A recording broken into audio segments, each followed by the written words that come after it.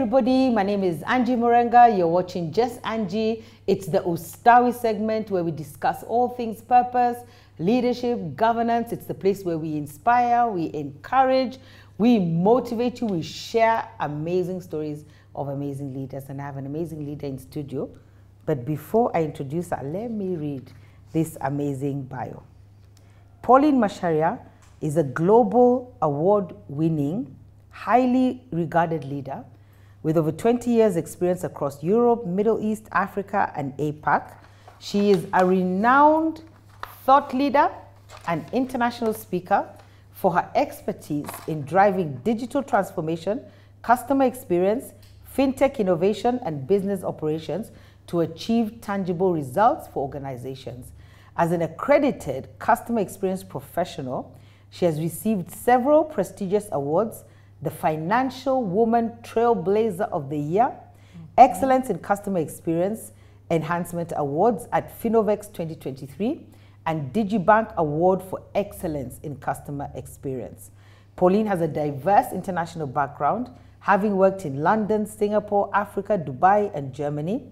She demonstrates strong leadership capabilities through her strategic vision, commitment to operational excellence, and development of relationship service models. She completed the Executive Education Advanced Management Program at Strathmore University and IESE Business School and holds a BSc in Information and Computing Science from the University of eh, Wisconsin, Green Bay, USA. Wow, Pauline. My goodness. And I think there's so many other things they didn't say there because I think when you worked in SA, but karibu sana. Asante to just sana. Angie. Mm -hmm. Thank you for inviting me. I'm it's a so pleasure to be here. Amen. I'm really grateful that you came. Actually, I was thinking, I was like, hey, Pauline's never been on just Angie. you did Unstuck. I can't remember year because it was you. I know you were on a panel. Teresa um, and Njoroge. and Waihiga Mwaura. Yes. Yeah, amazing panel as well. So that was really, really good. Awesome. So this is Ustawi. Welcome to Just Angie. This Thank is where you we, for having me. we discuss all things leadership. You've had an illustrious leadership career. I was actually thinking I would keep my mouth shut because me, I know everything. I know all the stories. I know where all the skeleton. There's nothing I don't know. So I was like, hmm, let me let you talk so that you release the stories you want to release and the ones you don't want to release. Wow. Thank you for having me. It's You're a pleasure welcome. being here. Um, my journey, actually, now that we're talking about my journey, it's it's interesting when you when I started reflecting on this. I'm like, it's been quite a journey. has I feel very blessed and privileged. Not many people have had the career I've had, and uh, throughout this career journey, you, you read all the countries that I've lived and worked in. Hmm.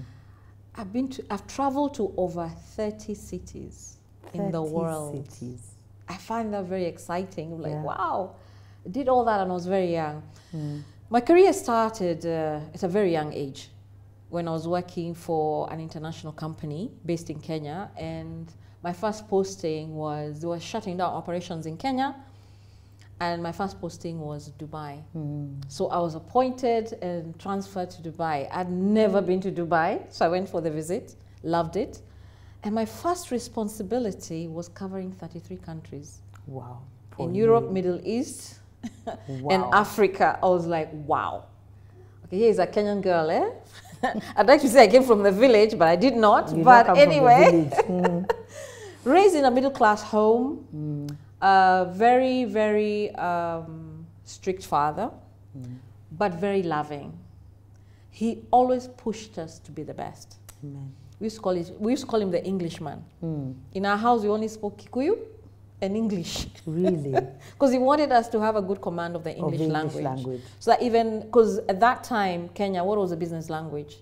English. That was the main one. So he always uh, insisted on how we need to carry ourselves. Was very, I, in my life, my dad has been very, was pivotal. He was very, very supportive. So having that male figure in my life at a young age shaped my life on what the expectation should be in terms of always striving to be the best Mm. um, and doing things with excellence. So I yeah. love that, and I like because they said that when you have a father, an active role, or father or role model in your life who's male, that you learn to take risks. Because maybe that's where you got it. Because Yeah. moving from Kenya to Dubai, Mm-hmm. it is not for the faint-hearted. No, it's not. Uh, you know, when we were growing up, my dad used to travel a lot. He worked for an international company, so mm-hmm. he used to travel to London a lot. Mm. So when he came back, he had that influence of the UK, which was brought into the home. I'm like, even me one day, I'll travel. I'll get on that plane. So it was a good model. I'll get on that plane and I'll go. get on that plane. I like that motivation. So, and uh, when we were growing up, uh, we had uh, our cousins and friends going to study abroad. I'm like, even me, I'll get I'll on that plane. study. I'm going to study in America. Amen. Amen. So I started studying here computer science because I did not, there was nothing else that was attractive to me. I like tech things because that's what I studied in school Mm.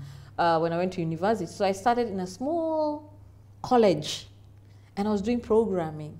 Then from that, I applied. I wanted to study aviation. really? Yes. I'd even applied to Embry Riddle University, but my parents couldn't afford it.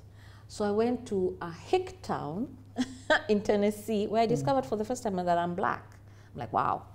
Um, and that's where I went to study computer science. Did that one year, then I transferred to the north.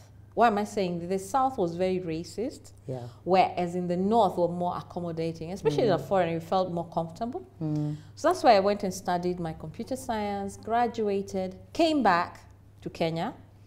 I didn't want to stay in America if I didn't have a job. Mm. So I came back. Um, and at that time, many people were not coming back. I wanted to come back. So I always had this thing that I was not chased away from home.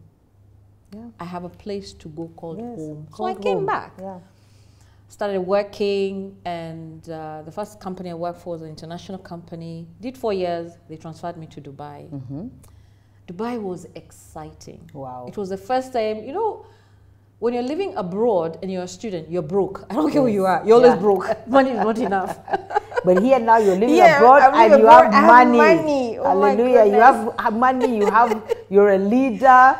Exactly and here my and i have to give credit to a lot of the mentors in my life Okay. Because when I was transferred to Dubai, uh, one of my one of my mentors was based in Canada, and she's the one who was training me and coaching me in Good. terms of being how to be a leader with such a diverse market. Yeah. What does that mean? As a leader, as an aspiring leader, it's good to have a mentor who's coaching you within the organization.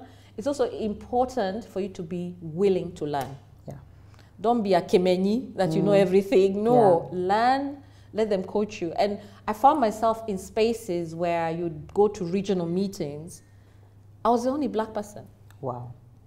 In that Only African, meeting. only African, Wow. only black person. Well it's intimidating. It is, but it's, so good. You navigated your way. You're here. But I had, because it was an international company, then you learn how to work with these international Mm. people. That's where my schooling came from. That's good. on the job learning. I, I didn't have, you know, I didn't go to school to learn how to interact in the office place. Mm. I learned it on the job. Let me ask you something. Hmm. How did you learn to? Because now you're you're managing 33 countries. Yes. When you were here, but I want to go back because we've got such a long way to go. When you were here, were you managing anyone? When you were here in the office here, were you managing other people? I didn't have a team. I You had have a interns. team. You had interns. interns helping. so how do so they move you to the level of managing 33 countries? countries? Tell me about decisions because I feel like leadership they say is about decisions. Mm-hmm. So how do you make decisions at that level? Did you make any decisions that were not great? How did you bounce back from that? Were you confident about the decisions you were making, or does this also come from mentorship? I don't know. It comes from mentorship, one. I cannot emphasize that enough. Mm-hmm. And then because when I was transferred to Dubai, where I was moved to that office to manage countries. So the entire office, our, of our team was running countries. Countries, okay. So you'll find we're more or less uh, your colleagues at your peers are at par with you. One may be dealing with, let's say, they're dealing with revenue management. Another one is dealing with marketing. Mine was uh, improvement by employee excellence and quality management. Wow. And that time, Kaizen was big in terms of quality. So really coming up with quality programs and you have to be very structured in putting teams together mm. because you can't visit all 33 markets. No. So we had divided them into regions. So mm. then you visit a region and you meet everybody, mm. or you have conference calls and you and you and you engage with everybody. So that's Okay. how you learn how to navigate these different markets at the same time. Okay. We're all speaking English because it's an uh, international company. My biggest challenge is when people switch to German because I didn't speak German. And then I was sent to Germany to go and study German for two weeks. Oh my God, it was a nightmare. Because you have to speak the language when you go to the shops, when you're ordering a taxi. So you always with a book. We didn't have phones, Phones. to do the Phones translator. People cannot even relate. They think that this, that's like, they don't even know a world that existed without phones. I'm telling you.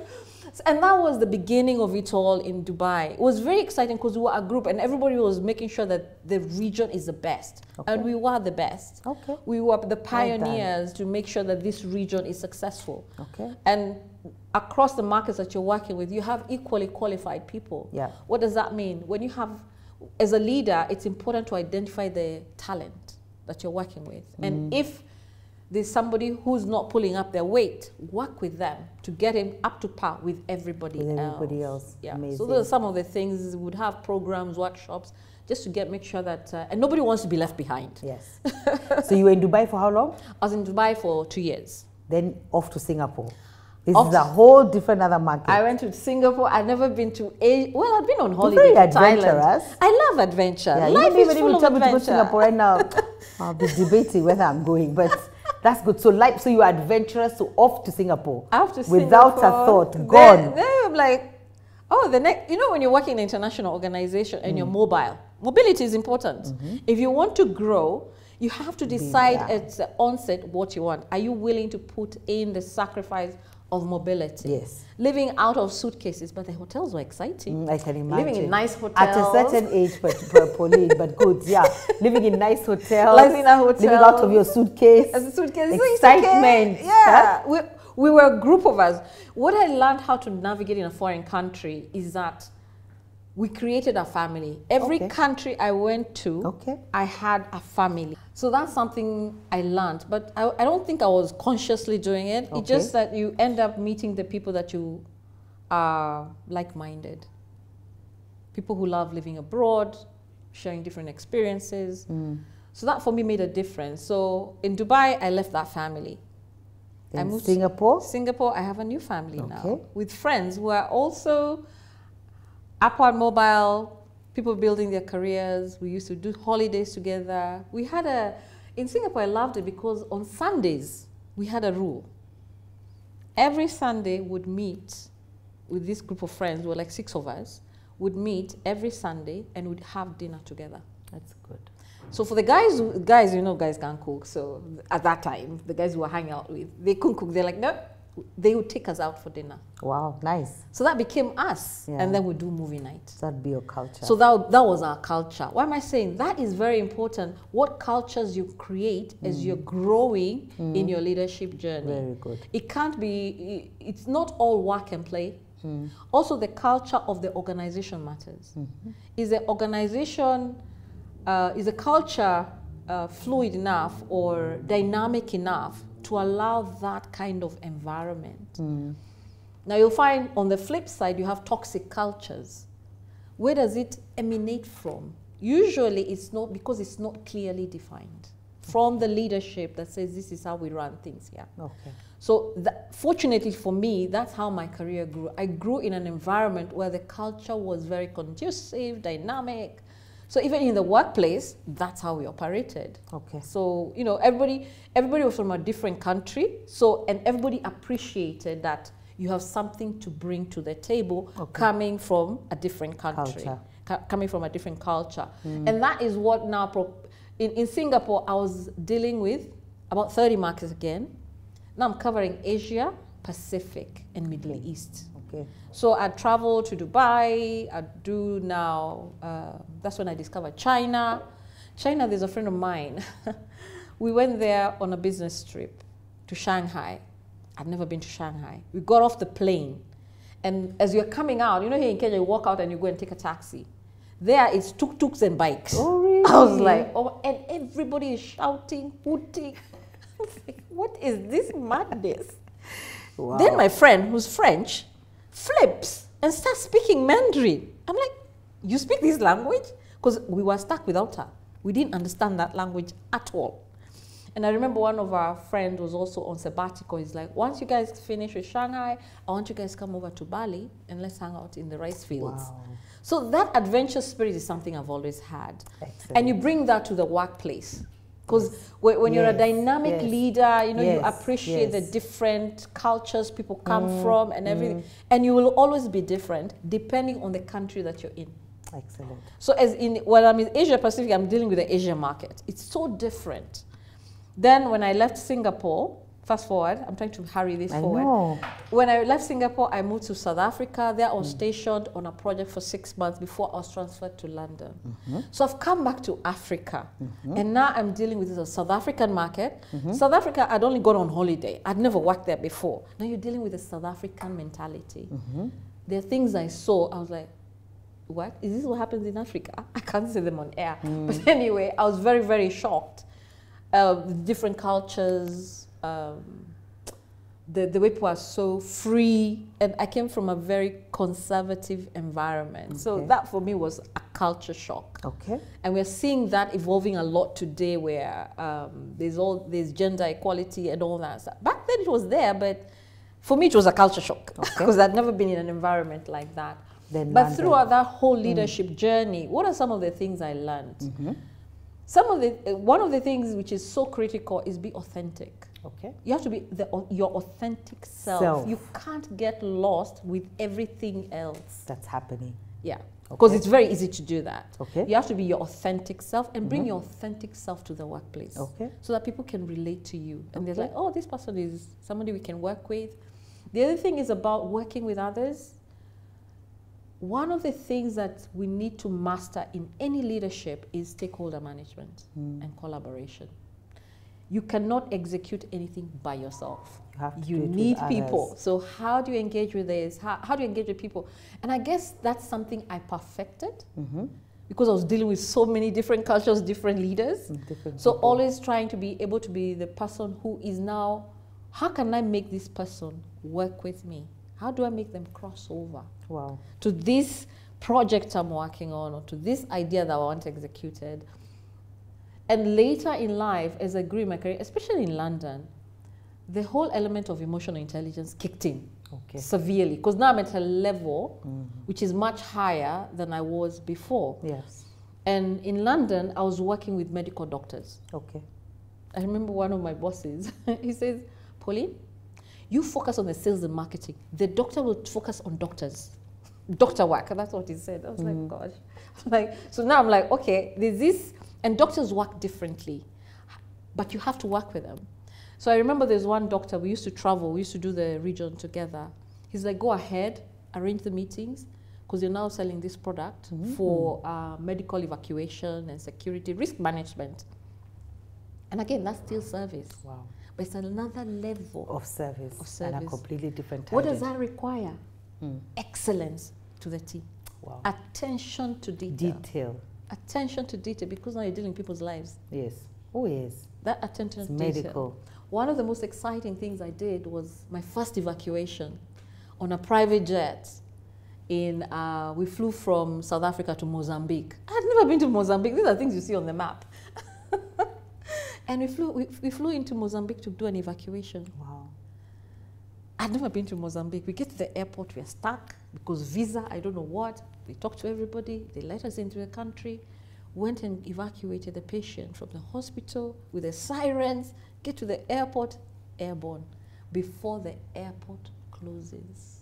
Wow. Do you know there's some airports we close at a certain hour you can't yeah, fly in? Yeah, yeah. I know even here there's some that after certain times you can't land. or So for me, that was in. really, I was like, wow, this is a different world. Even Mm. as we were doing this evacuation, that was the first time I'm hopping into countries dealing with people's lives. Yeah. And I'm not a doctor, but I'm working with doctors. What does Because that mean? this product. You Mm. have to be uh, a person who's dynamic, able to work with others, very senior, delicate project. And I think also flexible is what I'm hearing. Yes. So at some point, London, let's go to London because now. You want to go to London? No, no, because now we're going to have to come back again because now we do, So now you go back to London. Yes, Or you know you're in London, yes. but something shifts. something shifts. Uh, around the 2018, um, there was a financial crunch, Okay. and the company that I was working for, uh, there was a retrenchment. Wow. Oh, I'm so sorry. And in that retrenchment, it was so severe, you'd find that some people in other organizations were committing suicide. They were jumping from bridges. That's how bad it was. Gosh. Some people jump bridges. I mean, it was really bad. And it's, it's out there in the market. A lot of people were affected. From one day to the next, financial crunch. I was affected. I was made redundant. And, um, and even though you get a package, that cannot last you for a lifetime. And I said, okay. And at that point in time, oh, by the way, by that point in time, I'm now born again and I'm serving God. Thank God. I got born again in Thank Dubai, God. Thank God. in my living room. in your living room. Wow. and the Holy Spirit was so strong. It's like God just wanted me to be born again in Middle East. He knew what was coming. Yeah, exactly. So in in in um, in that financial crunch, I lost my job. I decided to, and now I started working for the church. So I worked for the church for two years. Wow. serving in a church and I'm like, okay, now I'm done. I can't do church anymore. I want to go back to corporate because I was a corporate person. I went to corporate person. It did not work out. I ended up being unemployed for about 10 months. No job. 10 months of these two years. No, no, no. After the two years in After the two years Yes, now. yes. Oh, now you don't want to work in church anymore. Yes. So now you're going out there. I'm going back to the But even as you bring us that story, I want to know how did it, you know, you are a very high flying individual. Yes. How do you go from high flying individual to no job? And how do you navigate that? Thankfully, there's church, but I, I don't know. We don't even have It time. It is called humility. You know, um, there's a lot of time spent seeking God and answers because you don't have the answers. at that time and I didn't. when you've I- lost everything. Exactly. And that is not how I planned my life. I know. Nobody It plans says for many that. are the plans of man, but it's the counsel of God that stands. I'm like, this how is this my plan? So it was tough navigating that. Uh, before I came to London, see, I was looking for, for a job. Before I came to London, as I'm looking for a job, I remember there's one time I was lying on the grass. I'm like, Lord, you must answer me. Like, I was so, I was like, I was at the point where I was giving up. Today we call it um, being uh, depressed, mental. I didn't know. We didn't have a name for it like that, like we have it in society.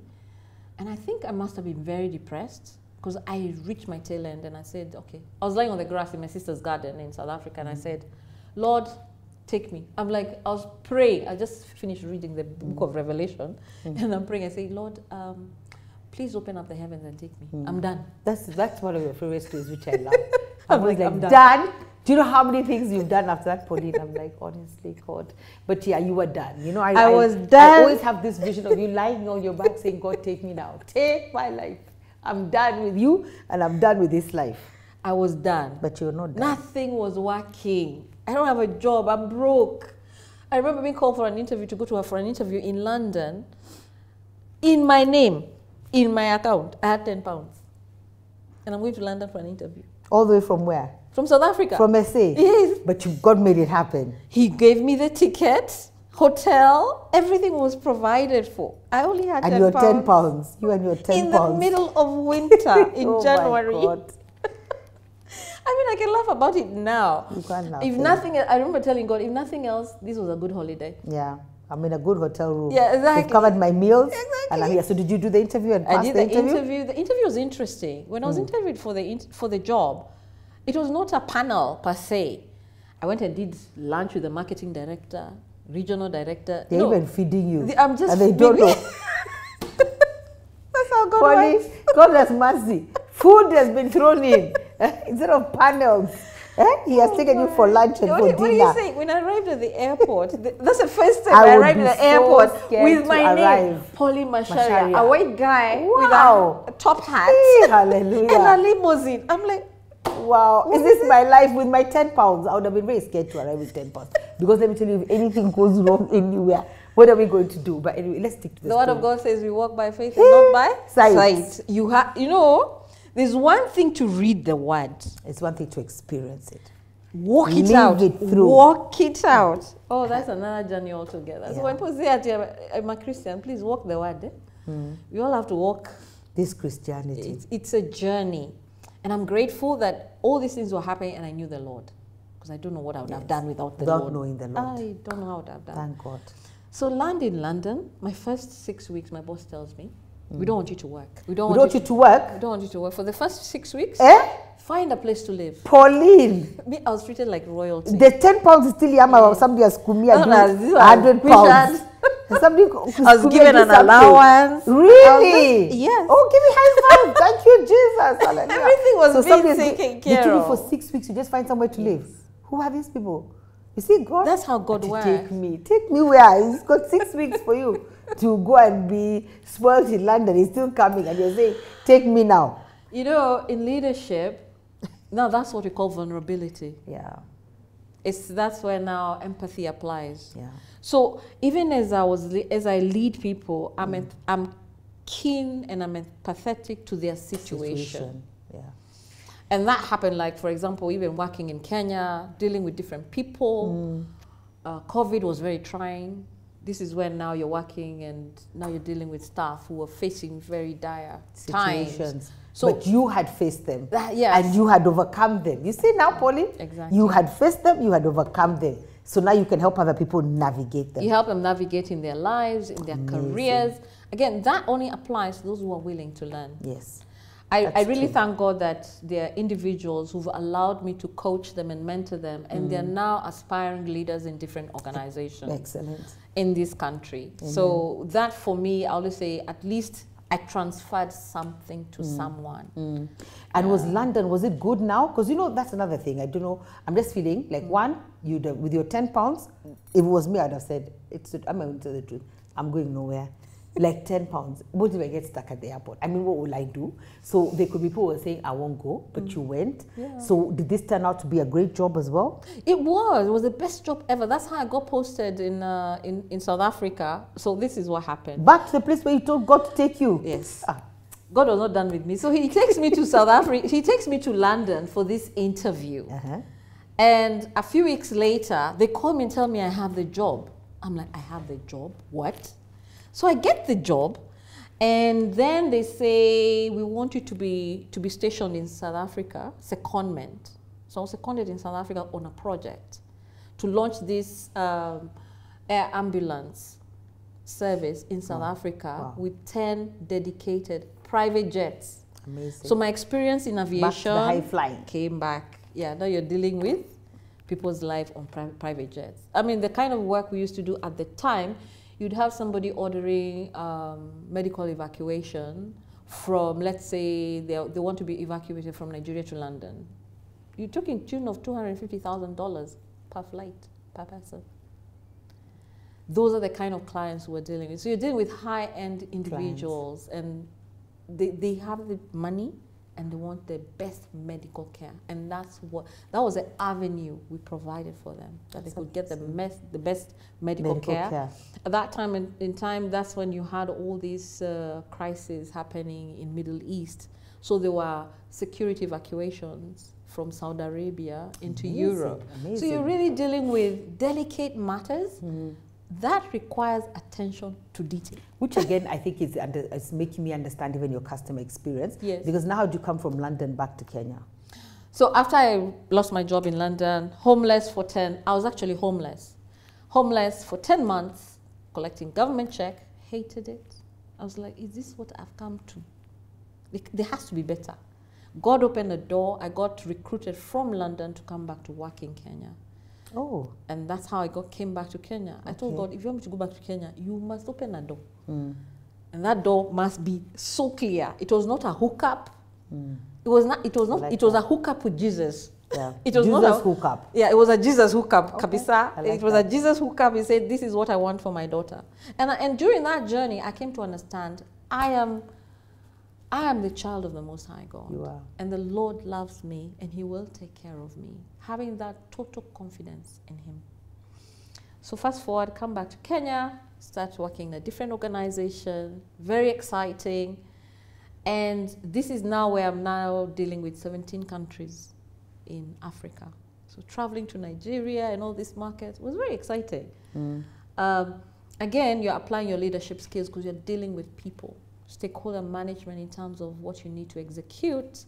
It's being a visionary because now you're running a docket. What is the vision for service for Africa? For the 17 countries. for the 17 countries. And every market is different because sometimes you find some nuances will work in Kenya But they, will won't work work in in another another country. market. Exactly. Okay. So it's really sitting down and understanding and having the baseline, setting Mm. up the baseline and say, this is the bare minimum we expect. Mhm.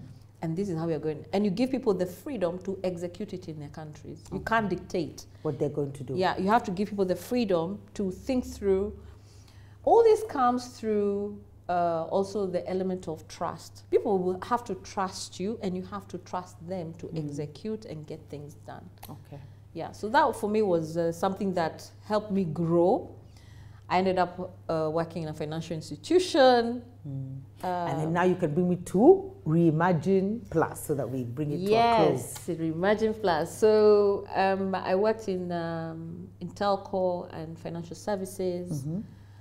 and then this year it came a time. It's like now it's time to transition. Mm. You see, God works in seasons. Mm. So my season had come to an end, and it was time for me to transition in something bigger, better. Mm. What does that look like? God knows, but every time He's ordered my step. So I set up my company called Reimagine Plus. Mm. Reimagine Plus, what we do is enhancing customer centricity, Yeah, and that's something You know, do very well. empowering organizations to drive customer centricity for business growth.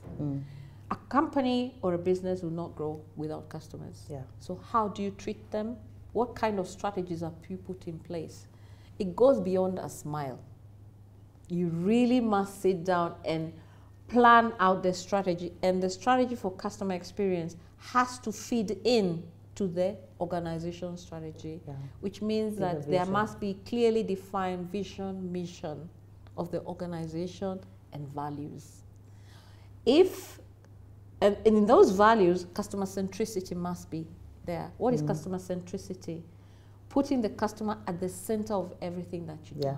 Whether it's making a payment by finance department, whether it's marketing, putting the customer at the center and now unpacking and saying how we're we going to make the experience for the customer with the organization. You know, sometimes you go to you go to a supermarket, but you have a very bad experience at the parking lot. It mm. will influence your decision. Oh, definitely. So that is inside the supermarket. Exactly. So the, the experience has to start outside here. end to end. Yeah. For example, in airlines, when you make when the experience of the airline starts from the minute you make a decision. that I'm going to use this airline and I'm going No, here. that I'm going to travel. travel. Okay. Then you now start looking which one is the best. Is it price? Is it destination? Things like that. So that end to end until you travel to your destination. That is what we call customer journey mapping, step by step. Because every touch point, the touch point starts with, I don't know, buying the ticket online. What experience did you have online? Booking your seats. Did you get the seats you wanted? Mm. Booking your meals. Did you get the meals you wanted? Mm. Yes, you booked, but when you get on the plane, did they did they deliver on the promise? Mm. So those are things I help organizations think through, so that now um, they can for business growth. And the reason why we do that is that there is no organization that can grow without customers. Yeah, that's very, very important. But I'm just thinking, all your experiences have brought you to this point. I think it's beautiful. All the experiences, the good experiences, the experiences that were not so great, that adventurous spirit, the customer centric uh, focus, the excellence, the attention to detail has brought you to this place. And I'm so excited for me to know, to know you as a leader. Thank you. Actually, when I started, I said, yeah, Pauline needs to come to Ustawi because you're an exceptional leader. You've had ups and downs, but you're a very, very good leader. Thank you. Um, and I'm really grateful for that. So I can't wait to see what Reimagine uh, Plus will do. And we must have you back so that you can talk about Reimagine Plus. I'm definitely looking forward to talk about that. Mm. Currently, what I'm doing with this Reimagine Plus is I am I've become the customer experience evangelist. Yes. I'm now going talking to leaders and helping them understand why it's important for their organization. Mm. So I've been doing that, doing a bit of webinars. Those are, I, I did one of my best and biggest uh, engagement was in South Africa, Cape Town.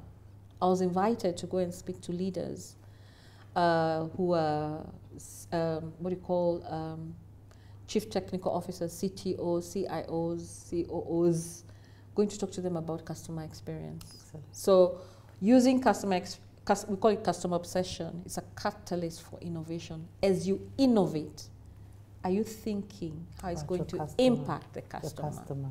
Because if you don't get that right, the revenues will not come. Get that right, the business will grow. Excellent. Thank you so much, Pauline. Thank, you so much for having me. Thank you for coming on Ustawi. God bless you guys. I hope you've learnt a lot. I have.